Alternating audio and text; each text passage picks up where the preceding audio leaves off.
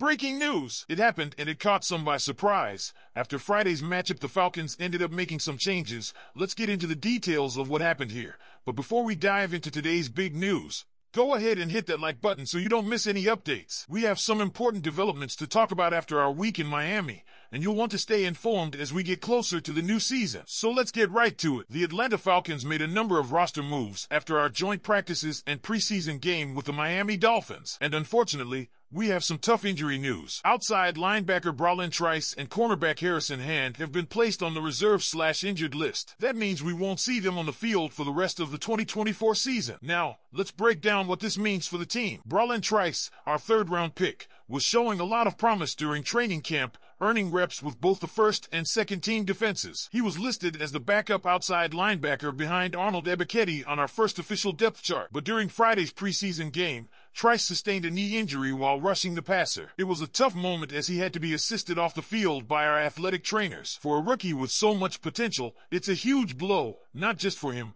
but for the entire defense. As for Harrison Hand, he went down during practice last Wednesday during 11 on 11 drills. The injury occurred on a deep pass play down the right sideline, and it was clear something wasn't right as Hand was slow to get up. Although he managed to limp off on his own, the knee injury will keep him out for the season as well. Hand was a recent addition to our roster, signing with us in June, and he was competing for a spot as our third cornerback behind Mike Hughes and Clark Phillips III. Losing both Trice and Hand is a setback, especially as we're trying to build a strong defense under new leadership. But that's not all the news we've got for you. The Falcons also made some other moves to adjust the roster. First, quarterback Nathan Rourke was released. Rourke, who joined us on August 1st, got his first taste of NFL action in Friday's game, coming in during the fourth quarter. While he showed some mobility with a couple of scrambles, including a 21-yard run that was our longest of the game, his passing performance was less impressive completing only three of his 13 attempts for 37 yards. It seems like the coaching staff decided to go in a different direction after his debut, but it's not all departures. The Falcons have also signed three new players to bolster the roster,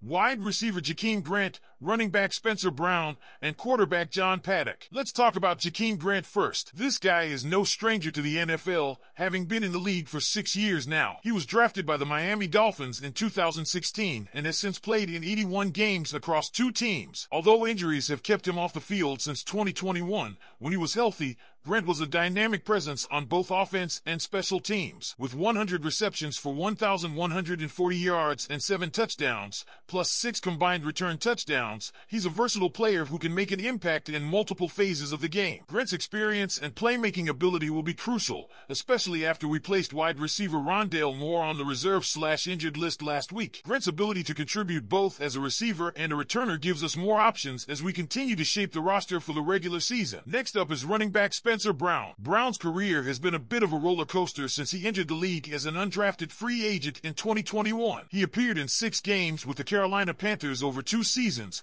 recording nine carries for 43 yards. While those numbers might not jump off the page, Brown brings some depth to our running back room, which could be important as we look to keep our starters fresh throughout the season. Finally, we've got quarterback John Paddock back in the fold. Paddock, an undrafted free agent, returns to Atlanta after being released on August 1st. With Rourke gone, Paddock will have another opportunity to compete for a spot on the roster, likely as a developmental player who can learn behind our established quarterbacks. So, Falcons fans, what do you think of these changes? It's always tough to see players go down with injuries, especially young guys like Trice and Hand who were showing so much potential. But that's part of the game, and now it's about seeing how the rest of the roster stacks up. Are you excited about the addition of Jakeem Grant and what he can bring to the team? Do you think Spencer Brown or John Paddock will make an impact this season? Let us know your thoughts in the comments below. Now, Let's talk about Friday night. Our Atlanta Falcons took to the field against the Miami Dolphins, and while the 20 13 loss might not have been what we hoped for, there were still some bright spots worth talking about. Let's kick things off with the debut of our 2024 8th overall draft pick,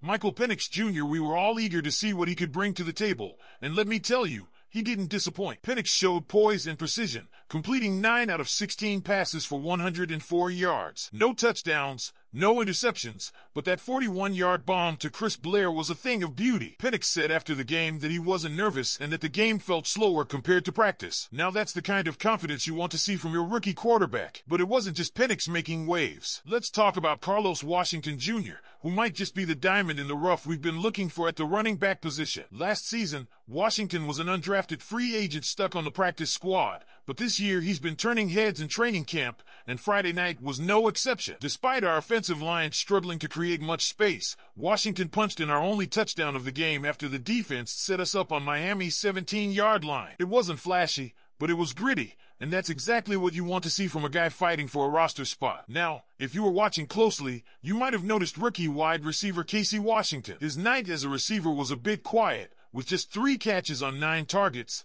but don't let that fool you. Casey was making plays on special teams, showing off his versatility and proving that he's more than just a one-trick pony. When asked what he couldn't do after the game, Casey joked that offense, special teams, and even defense were all fair game. Love that attitude. And speaking of special teams, how about D'Angelo Malone? This third-year linebacker was all over the place on returns, making two crucial tackles and making his case for the final 53-man roster. But let's be real, not everything went smoothly. Taylor Heinicke had a rough night, night and if anyone was still questioning why we drafted a quarterback in 2024, Friday night answered that question. Heinicke went 4 for 11, managing just 11 yards. Yikes! Combine that with a costly turnover, and it's easy to see why his days might be numbered. The Falcons have already restructured his deal to save some cap space, but after Friday's performance, you have to wonder how much longer he'll be sticking around. And then there's the pass rush, or rather, the lack thereof. We couldn't bring down either of Miami's quarterbacks on 33 dropbacks. That's right.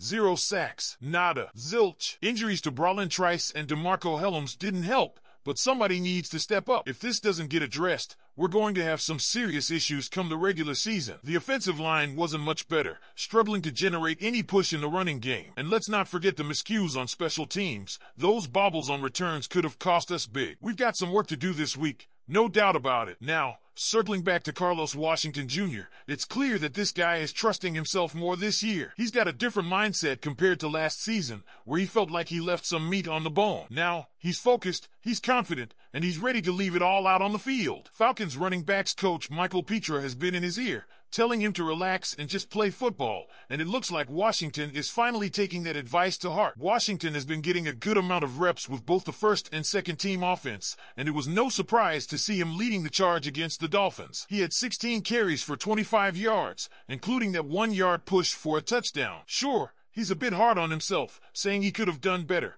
but that's what you want, a guy who's never satisfied, always pushing for more. With two preseason games left, against the Ravens on August 17th and the Jaguars on August 23rd, Washington has two more opportunities to prove he belongs on that 53-man roster. Bijan Robinson and Tyler Allgeier are locked in as our top two backs, but Washington's got a shot to carve out a role. Head coach Raheem Morris even mentioned how Carlos brings some Bijan-like qualities to the table, and that's high praise. It's all about finding the right fit and if Washington keeps showing out, he just might secure his spot. So, Falcons fans, what do you think? Is Carlos Washington Jr. the real deal? Will Michael Penix Jr. keep improving? And what about that pass rush? Do we need to hit the panic button? Or will someone step up? Let me know your thoughts in the comments below. And don't forget to hit that like button if you haven't already. Your support means everything. And if you're new here, make sure to subscribe so you don't miss any of the latest Falcons news and analysis. Thanks for watching, and I'll catch you in the next one. Go Falcons!